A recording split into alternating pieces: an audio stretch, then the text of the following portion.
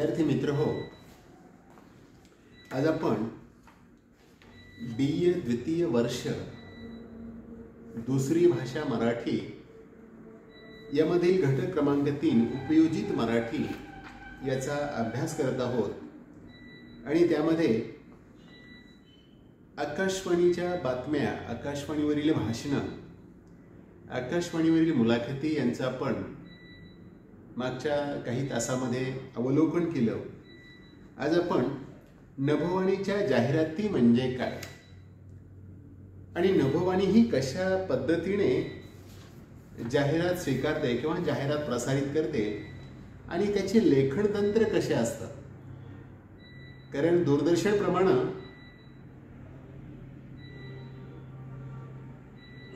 आकाशवाणीवरती काही तुम्हाला दृश्य दाखवता येत नाही. एखाद्या उत्पादनाची जाहिरात करायची असेल तर ती तुम्हाला फक्त शब्दामधूनच व्यक्त करावं लागतं. तिचं चांगलेपण तिचं वेगळेपण किंवा तिचं आकर्षण जे काही आहे ते तुम्हाला फक्त शब्दामधून मांडता आलं पाहिजे. दूरदर्शनच्या बाबतीत असं आहे की त्यांची जाहिरात म्हटलं की त्यांनी फक्त तो रंग जरी दाखवला किंवा त्या उत्पादनाचा नाव जरी त्यांनी दाखवलं तर वेगवेगळ्या डिझाईन्स कलर हे सगळं वापरून त्यांना दूरदर्शनाची जाहिरात सहजपणे दाखवता येते. परंतु आकाशवाणीला मर्यादा आहेत.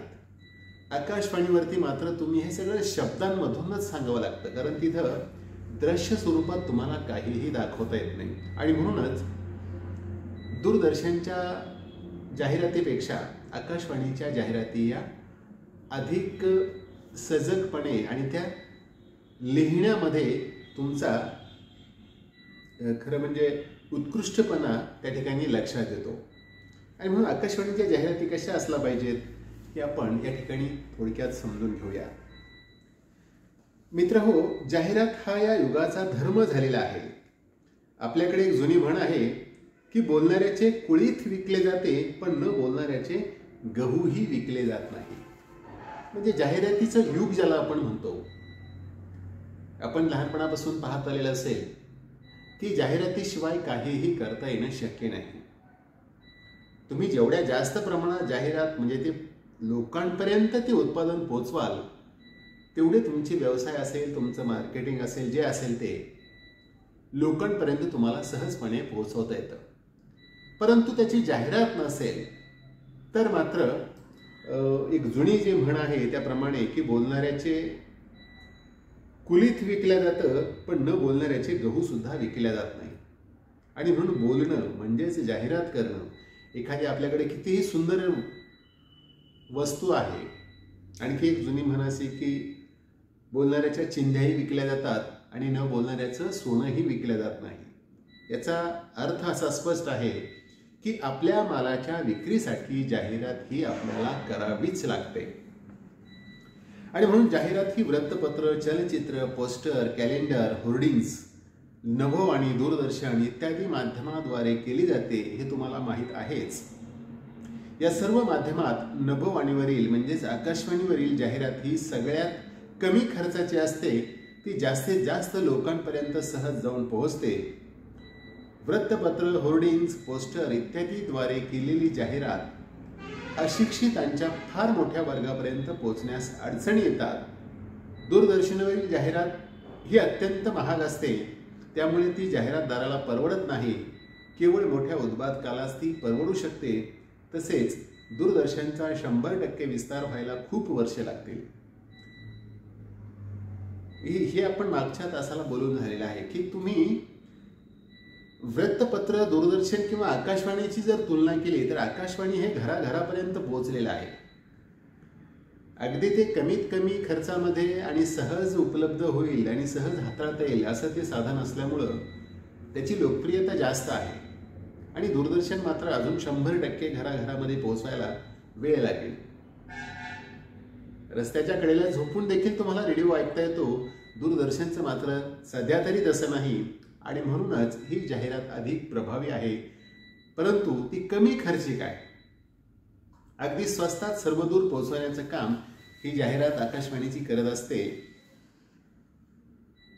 आणि दुसरी गोष्ट अशी की वृत्तपत्र असेल होर्डिंग असेल पोस्टर असेल यामधून जे फक्त शिकलेले सुशिक्षित लोक आहेत त्यांनाच त्या उत्पादनाची माहिती सहजपणे कळू शकते. परंतु अशिक्षित वर्गाला मात्र होर्डिंग्स वाचता येत नसल्यामुळे किंवा ते काही कळत नसल्यामुळे त्या गोष्टीचे त्याला फार काही समजणार नाही आणि त्या मालाचं महत्त्वही त्याला कळणार नाही. परंतु आकाशवाणीवरील जाहिरात ही फक्त शब्दांच्या भाषेच्या मधून त्या मालाचं महत्त्व सांगितलेलं असल्यामुळं ती सहजपणे कुणालाही सहजपणे चटकन समजेल अशा भाषेमध्ये असते. आणि म्हणूनच ती जाहिरात कशी असली पाहिजे? ती जाहिरात कशा पद्धतीने लिहिल्या गेली पाहिजे हे देखील ते महत्त्वाचं ठरत असतं. आणि म्हणून जाहिरातीसाठी आकाशवाणी हे अतिशय प्रभावी माध्यम आहे. सध्याच्या काळात सर्वांना उपयोगी पडण्यासारखे हे माध्यम आहे पण आकाशवाणीचे कार्यक्रम ऐंशी टक्के लोकांपर्यंत सहज जाऊन पोहोचवता येतात. नभोवाणीचा श्रोता अशिक्षित असला तरी चालतो. तसेच या माध्यमातून केलेली जाहिरात इतर माध्यमांच्या तुलनेने स्वस्त असते. ती ऐकण्यासाठी श्रोत्याला केव्हाही कोणताही खर्च करावा लागत नाही. म्हणजे नभोवाणीवरून केलेली जाहिरात ही विनासायास ग्रामीण भागापर्यंत जाऊन पोहोचते. तिच्या आकर्षक रचनेमुळे ती श्रोत्यांच्या मनापर्यंत जाऊन पोहोचते. त्यामुळे नभोवाणीवरील जाहिरात ही सर्व दृष्टीने प्रभावी आहे. जाहिरात म्हणजे ॲडव्हर्टाइजमेंट हा शब्द मूळ ॲडव्हेंटरी या लॅटिन शब्दापासून तयार झालेला आहे. या लॅटिन शब्दाचा अर्थ च्याकडे मन वळविणे असा आहे. ॲडव्हेंटरी या लॅटिन शब्दाचा अर्थ च्याकडे लक्ष वळविणे किंवा मन वळविणे असे आहे किंवा आकर्षित करणे असा त्याचा अर्थ आहे. आणि हा मूळ शब्द ॲडव्हेंटरी असल्यामुळे ॲडव्हर्टाइजमेंट हा शब्द जाहिरात म्हणून आज आपण वापरतो. कोणत्याही माध्यमातून केलेल्या जाहिरातीचा तोच उद्देश असतो आपल्या मालाकडे किंवा आपण देत असलेल्या सेवेकडे लोकांचे लक्ष वेधावे हाच जाहिराती मागचा उद्देश असतो. जाहिरातीचा उद्देशच मालाची विक्री व्हावी हा असल्याने जाहिरातीचे तंत्र समजावून घेणे आवश्यक आहे. जाहिरातीवर केलेला खर्च आणि मालाची विक्री यांचे प्रमाण व्यस्त असेल तर काहीतरी चूक होते आहे असे समजले पाहिजे. मानवाच्या खूप गरजा असतात. अन्न वस्त्र निवारा सुसक्ष सुरक्षितता सामाजिक मान्यता इत्यादी जाहिरात लेखन करताना या सगळ्या गोष्टीचे भान ठेवून त्याचा उपयोग करून घेतला पाहिजे.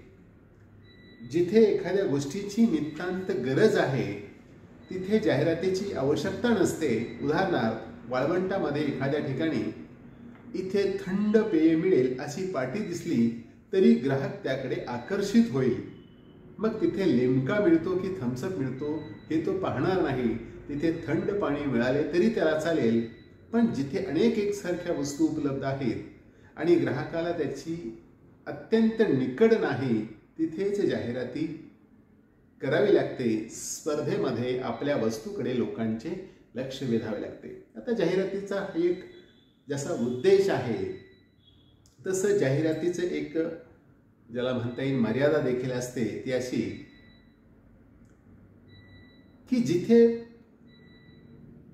एकसारख्या वस्तू किंवा एकसारखं उत्पादन भरपूर प्रमाणात आहे परंतु आपलंच उत्पादन आपलाच माल जर समोरच्या ग्राहकाने घेतल्या गेला पाहिजे असं आपल्याला वाटत असेल तर त्यासाठी आपल्याला जाहिरात करणं आवश्यक आहे. आणि ज्या ठिकाणी ग्राहकाला अत्यंत निकडीची गरज आहे त्यांनी उदाहरण असं दिलंय की वाळवंटामध्ये इथे थंड पाणी मिळेल हे सांगण्याची गरजच नाही. तिथं पाणी जरी दिसलं तरी लोक सहजपणे तिकडे जातात आणि मग तिथं लिमका कोल्ड्रिंक काय असेल ते हे बाकीच्या गोष्टी नंतरचा विषय आहे. परंतु तिथे त्यांना काहीतरी प्यायला पाहिजे आणि थंड पाहिजे म्हणजे तिथं जाहिराती त्या गोष्टीची करण्याची गरजच नाही. परंतु ज्या ठिकाणी भरपूर प्रमाणात सारख्या प्रमाणात ती उत्पादनं उपलब्ध आहेत आणि लोकांनाही त्याची फारशी काही गरज नाही त्या ठिकाणी मात्र तुम्हाला जाहिरातीची गरज पडते आणि त्या ठिकाणी तुम्हाला जाहिराती करावी लागते.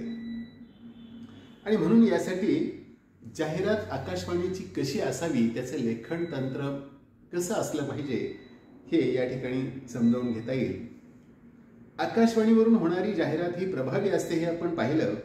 या माध्यमासाठी जाहिरात लेखन करणे ही आजच्या युगातील एक कला झालेली आहे. त्या लेखन कलेचे तंत्र आणि मंत्र आपण समजावून घेऊ. कोणत्याही माध्यमासाठी जाहिरात करताना प्रथम आपल्याला जाहिरातीचा मसुदा लिहावा लागतो. त्याला कॉपी लिहिणे असे म्हणतात. आकाशवाणी या माध्यमातून जाहिरात करताना ही कॉपी लिहिण्याला फार महत्त्व आहे. ती लिहिताना आपण केवळ श्राव्य माध्यमासाठी लिहित आहोत याचे भान ठेवावे लागते. आता कोणत्याही गोष्टीसाठी लेखन हे आवश्यक असतंच ज्याला आपण कॉपी म्हणतो. की ते न चुकता कुठंतरी रेकॉर्ड झालं पाहिजे न चुकता ते कुठंतरी प्रसारित झालं पाहिजे. आणि म्हणून ते लिहिण्याची तजवीज प्रत्येक माध्यमामध्ये घ्यावीच लागते. मग ते दूरदर्शन असेल आकाशवाणी असेल किंवा वृत्तपत्र असेल.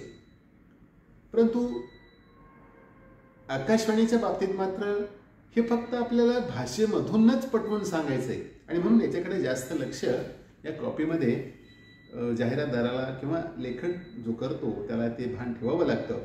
कारण इथे फक्त ऐकणारा आहे. तुम्हाला बघणारा आणि पाहणारा कोणीही नसतो. नभो आणीवरील जाहिरातींना वेळेचं बंधन नसते असते. त्यात दहा सेकंद पंधरा सेकंद वीस सेकंद तीस सेकंद पंचेचाळीस सेकंद आणि साठ सेकंद अशा वेळातच जाहिराती करावी लागते. प्रत्येकाचा दर वेगवेगळा असतो त्यामुळे उत्पादनासाठी उत्पादकांची खर्च करण्याची तयारी लक्षात घेऊन वेळ निश्चित करावी मग या वेळेत करता येईल अशी आकर्षक कॉपी लिहावी लागते. म्हणून थोडक्यात सांगा पण सर्व काही सांगा हे तत्व लक्षात ठेवावे लागते. सगळं सांगा पण थोडक्यात सांगा हे जाहिरातीचं तंत्र आकाशवाणीला देखील लागू पडतं. कारण तुम्हाला कमीत कमी वेळेमध्ये अगदी सेकंदामध्ये ती गोष्ट तुम्हाला पटवून देता आली पाहिजे पटवून देता आली पाहिजे. मग ती शब्दांच्या माध्यमातून असेल दूरदर्शन असेल तर तुम्हाला ती दृश्याच्या माध्यमातून असेल. कमीत कमी वेळेत अगदी कमीत कमी सेकंदामध्ये ती गोष्ट तुम्हाला ग्राहकांपर्यंत पोहोचवता आली पाहिजे. आणि कॉपी लिहिण्यापूर्वी लेखकाने हे स्वतःच्या मनालाही काही प्रश्न केले पाहिजेत ते असे की मी जाहिरात कशाची करत आहे? मला काय विकायचे आहे? मी कुणासाठी जाहिरात लिहिणार आहे? हे उत्पादन विकत घेणारे ग्राहक कोण आहेत? मी माझा संदेश चांगल्या प्रकारे संभाव्य ग्राहकापर्यंत कसा पोहोचवू शकेल? म्हणजे जाहिरात लिहितानाच ही काळजी लेखकाने घेतली पाहिजे. की आपण कशाची जाहिरात करतो हा पहिला प्रश्न त्याच्या डोक्यात असला पाहिजे. त्यानंतर मला काय विकायचं आहे याचंही त्याने भान ठेवलं पाहिजे. कुणासाठी मी जाहिरात करतो आहे ते देखील त्याला कळलं पाहिजे विकत घेणारे कोण आहेत आणि चांगल्या प्रकारे मी त्यांना कशा पद्धतीने ही जाहिरातीमधून आपल्या मालाचं उत्पादन देऊ शकतो समजावू शकतो हे त्याला लिखाण करतानाच पडलेले काही प्रश्न असले पाहिजेत. जेणेकरून तत्काळ थेट आणि मुद्देसूद कमीत कमी शब्दात तो त्या मालाचं महत्त्व शब्दांच्या माध्यमातून किंवा आकाशवाणीच्या माध्यमातून तो त्याच्या ग्राहकाला पोहोचू शकतो. कॉपी लेखन करणारा केवळ एखादे शीतपेय चेहऱ्याला लावायची क्रीम किंवा घड्याळ अशा वस्तू विकण्यासाठी लेखन करीत नाही तर त्या वस्तूंमुळे तुमच्या व्यक्तिमत्वात किंवा सुखात कशी भर पडणार आहे हे त्याला पटवून द्यायचे असते. म्हणजे जाहिरात करताना तुम्ही हे भान ठेवलं पाहिजे की केवळ एखादी घड्याळ मला विकायची म्हणून मी तुम्हाला तिचं महत्त्व सांगतोय असं न सांगता ती तुमच्या हाताला देखील कशा शोभून दिसते हे देखील जाहिरातीमधून पटवून देता आलं पाहिजे. केवळ आपली वस्तू किती चांगली आहे असं तर सांगितलं पाहिजेच. परंतु त्याचबरोबर ती तुम्हाला देखील किती खुलून दिसते हे देखील त्याला पटवता आलं पाहिजे आणि जाहिरातीचं हे महत्त्वाचं लक्षण असतं. कॉपी लिहिताना प्रथम कच्चे लेखन करावं लागतं. त्यात आपल्या मनातील सर्व कल्पना उतरवून काढाव्यात. मग त्यातून आकर्षक कॉपी ही नेहमी थोडक्यात लिहिलेली असावी स्पष्ट असावी आणि पटणारी असावी. आपल्याला ज्या उत्पादनाची जाहिरात लिहायची असेल त्या उत्पादनाची वैशिष्ट्ये कोणती गुण कोणते हे जाणून घेतले पाहिजे. ग्राहक कोण हे जाणून घेतले पाहिजे. त्यांचा हेतू कोणता हे ठरविता आले पाहिजे. उदाहरणार्थ आपल्याला पी व्ही सी पाईपची जाहिरात करायची आहे. हे पाईप शेतीसाठी उपयोगी पडतात. हे तुम्हाला सांगायचे तर प्रथम त्याची वैशिष्ट्ये जाणून घेऊ. हे पाईप्स वजनानं हलके आहेत जोडायला सोपे आहेत प्लास्टिकचे असल्याने ते गंजत नाहीत त्याला शॉक बसत नाही ते आय एस आय मार्फत तपासले जातात. आय एस आय मार्क हा मालाच्या उत्कृष्ट दर्जाबद्दल दिलेला असतो. म्हणजे आता आपल्याला पी व्ही सी पाईपची गुण व वैशिष्ट्ये माहीत झाली. आता तो शेतकऱ्यांच्या उपयोगाचा असल्याने शेतीसाठी त्याचा उपयोग सांगितला पाहिजे. जाहिरात लिहिताना ग्रामीण भाषेत किंवा लोककला प्रकारांचा आधार लिहिला पाहिजे. लोकमधून घेऊन त्या चालीवर एखादे गाणेही लिहिता येईल अशा जाहिरातीसाठी लिहिलेल्या गाण्याला जिंगल असे म्हणतात. नभोवाणीवरून प्रसारित होणाऱ्या जाहिराती ऐकून तुम्हाला त्याची कल्पना आल्याशिवाय राहत नाही. म्हणजे काय? तर तुमचा माल कसा गुणवत्तापूर्ण आहे हे अगोदर तुम्हाला लक्षात घ्यावं लागतं. उदाहरणार्थ पी व्ही सी पाईपची तुम्हाला जाहिरात करायची. तर हे तुम्हाला अगोदर माहीत असलं पाहिजे की पी व्ही सी पाईप हे प्लास्टिकचे आहेत वजनाने हलके आहेत. ते लोखंडी नसल्यामुळे गंजत नाहीत जोडायलाही सोपे आहे. त्याचा इलेक्ट्रिक शॉक लागत नाही. ही झाली त्या मालाचं वैशिष्ट्य. परंतु ते शेतकऱ्यांसाठी कसं महत्त्वाचं आहे? तर ते एखाद्या लोककलेच्या माध्यमातून म्हणा एखाद्या गाण्याच्या माध्यमातून म्हणा किंवा बोलीभाषेतून त्या लोकांना समजेल आणि पटकन त्याकडे तो आकर्षित होईल. कारण बहुतांश शेतकरी हा ग्रामीण भागामधीलच असतो. आणि म्हणून त्याला ते पटकन त्याच्याच भाषेत कळलं पाहिजे याचाही विचार जाहिरात लिहिताना लेखकाने केला पाहिजे. आणि म्हणून काही जाहिरात तुम्ही एक वाचले असेल एक आमच्या लहानपणी जाहिरात आम्हाला ऐकायला मिळायची कदाचित आता ऐकणे माहीत नाही. झुळझुळ वाणी निळवा पाणी आणायचं कोणी सांगतो राणी. अशा पद्धतीची एक लयबद्ध धून त्या जाहिरामधून जाहिरातीमधून लेखकांनी केली होती. आणि ती पी व्ही सी पाईपचीच बहुतेक जाहिरात होती. आणि असं हे गाणं लागल्यानंतर पटकन लोक अरे आपल्याला पी व्ही सी पाईपच घ्यायचे अशा पद्धतीने तो ग्राहक त्या मालाकडे आकर्षित होत असतो. आणि ह्याचं सगळं श्रेय त्या जाहिरात लिखाण करणाऱ्या व्यक्तीला जात असतं. आता जाहिराती लेखनामागचा हेतू काय? तर खाली दिलेल्या एक दोन जाहिराती मी तुम्हाला वाचून दाखवतो. गीत आहे ते की बघा बघा बघा तुमच्या शहरात चकमक धमाल धमालसारखी वडी कुठे मिळणार? धमाल कपड्याचा हा रक्षण करतो कमी कमी कमी गिफ्टीमध्ये मिळतो. ॲक्शनयुक्त भरपूर फेस धमाल डिटर्जंट वडी मिळेल. शुभ्रतेचा नजराणा घेऊन बघा हिरवी डिटर्जंट वडी धमाल. ही एक जाहिरात आहे. दुसरी एक जाहिरात आहे ती टूथ पावडरची जाहिरात आहे. एक नमुना म्हणून या ठिकाणी त्यांनी ती जाहिरात दिलेली आहे. यामध्ये काय सांगितलंय? की वहिनी एक पुरुष स्त्रीला पुरुषाचा एक आवाज आहे आणि नंतर स्त्रीचा संवाद आहे. वहिनी दात घासायला राखुंडी आणा जरा. वा दादा शरीर प्रकृतीसाठी दूध बदाम आणि दातासाठी राखुंडी. राखुंडी सारख्या खरखरीत दातवनामुळे दातांचं इनॅमल झिजून हिरड्या दात किडू शकतात. बारीक सफेद प्रशांत टूथ पावडरनं दात बळकट व हिरड्या निरोगी बनतात. लगेच दोघं मिळून उद्घोषणा करतात अधिक बळकट सफेद दात प्रशांत तूट पावतात ही एक जाहिरात. आता या जाहिरातीमध्ये काय सांगितलंय? की या जाहिरातीमध्ये दात घासायची पावडरची ही जाहिरात आहे. संवादाचा वापर करून नाट्यमयता यामध्ये आणलेली आहे. जुन्या उपायांनी दाताचे कसं नुकसान होतं हे देखील याच्यामधून सांगितलेलं आहे. शरीर प्रकृतीसाठी दूध बदामा इतके दात घासण्याचं पावडर सुद्धा किती महत्वाचं आहे हे देखील यामधून पटवून दिलेलं आहे. आणि त्याचबरोबर दात बळकट आणि हिरड्या निरोगी होतात ही गुणवैशिष्ट्ये सांगितलेली आढळतात. याचा अर्थ जाहिरात लिहिताना अनेक हेतू मनामध्ये ठेवावे लागतात. ते यालाच म्हणतात. आणि म्हणून जाहिरातीमधून तुम्हाला कमीत कमी वेळेत आणि शब्दांच्या माध्यमातून जास्तीत जास्त गोष्टी तुम्हाला सांगता आल्या पाहिजेत. आता आकाशवाणीसाठी जाहिरात लिहिताना कोणत्या गोष्टी लक्षात ठेवणे आवश्यक आहे हे एकदा आपण समजावून घेऊया. कोणत्या गोष्टी आवश्यक आहेत?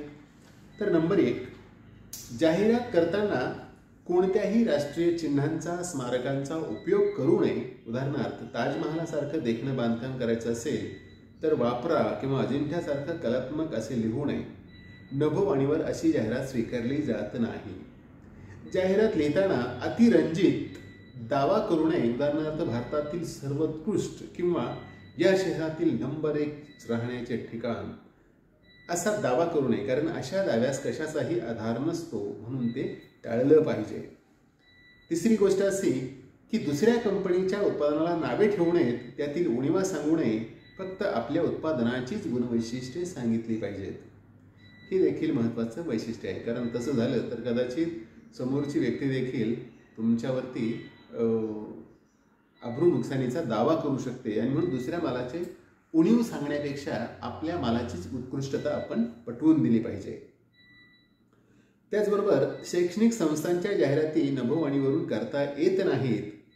अंमली पदार्थाची जाहिरात नभोवाणीवरून करता येत नाही. वैद्यकीय व्यवसायाची जाहिरात नभोवाणीवर करता येत नाही. औषधाची जाहिरात करताना ज्या औषधांना डॉक्टराचे प्रिस्क्रिप्शन लागत नाही आणि जी औषधे प्राणघातक नसतात अशा औषधांची जाहिरात अन्न आणि औषध प्रशासनाची अनुमती घेऊनच करता येते. इतर औषधांची जाहिरात नभोवाणीवरून करता येत नाही. आता हे काही ज्याला मार्गदर्शक तत्व आपण म्हणतो की ते कशा पद्धतीच्या जाहिराती असल्या पाहिजेत आणि कशा पद्धतीने त्याची मांडणी असली पाहिजे अशा पद्धतीच्या काही सूचना आकाशवाणीसाठी जाहिराती लिहिताना लक्षात ठेवावे लागतात हे समजावून सांगण्याचा प्रयत्न केला आहे. तर आकाशवाणीची जाहिरात ही फक्त शब्दांच्याच माध्यमातून प्रसारित होत असल्यामुळं लोकांना अधिकाधिक भाषेत समजेल अशा पद्धतीने तो ग्राहक कोणता आहे त्याचं स्थान कसं आहे हे सगळं समजावून आपण जाहिरात केली पाहिजे तरच ती प्रभावी होऊ शकते. धन्यवाद.